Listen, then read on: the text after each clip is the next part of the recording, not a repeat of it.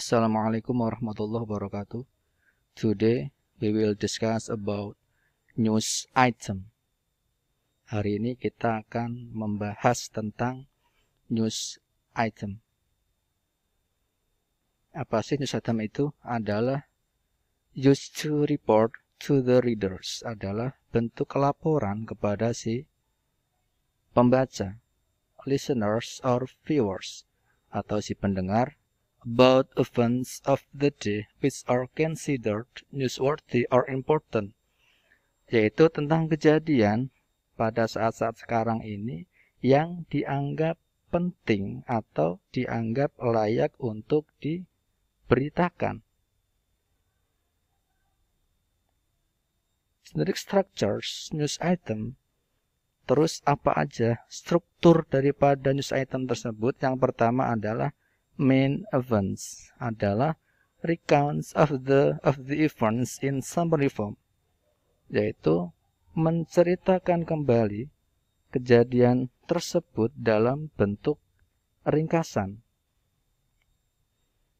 Next, background events atau elaboration. Ini biasanya ada di paragraf kedua dan seterusnya, yaitu tentang perluasan khususnya tentang what happened to whom, tentang apa yang terjadi atau tentang in what situation, bagaimana keadaan peristiwa tersebut. The last, yang terakhir adalah sources atau sumber-sumber. Bisa termasuk original comments by participant atau witnesses, bisa dari partisipan atau si saksi to an authorities expert on the event atau yang ber atau si ahli yang punya kepentingan dalam news item ini. Language features of news item. Selanjutnya adalah ciri-ciri bahasanya itu apa? Yang pertama adalah short telegraphic information, yaitu informasi telegraf pendek. Tentang apa? Story capture in headline. Lanjutnya adalah use of action verb menggunakan uh, verb aksi to retell untuk menceritakan kembali the story or events. Next, use of projecting verbal processes in source. Seperti yaitu menggunakan proses verbal seperti The police said, ya, kata polisi seperti ini ya. The with the, the witness thought, ya, seperti ini. Saksi berpikir dan lain sebagainya. Using adverb menggunakan kata keterangan.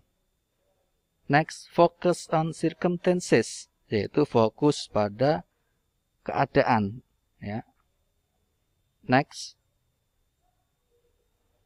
adalah uh, contoh daripada news item seperti di sini ya. Yang pertama adalah di sini sebagai main events. Perga pertama ya. Pamekasan students wins math contest in Romania. Yaitu ada se seorang siswa dari Pamekasan yang memenangkan kontes matematika di Romania. Ini bab pertama uh, bisa dibaca uh, sampai terakhir Alicia Diva Mustika student from Pamekasan ya sampai terakhir ini contoh daripada paragraf yang pertama. Next. Paragraf kedua adalah background or elaboration atau ini pengembangan daripada si yang diceritakan tadi. Si siapa tadi?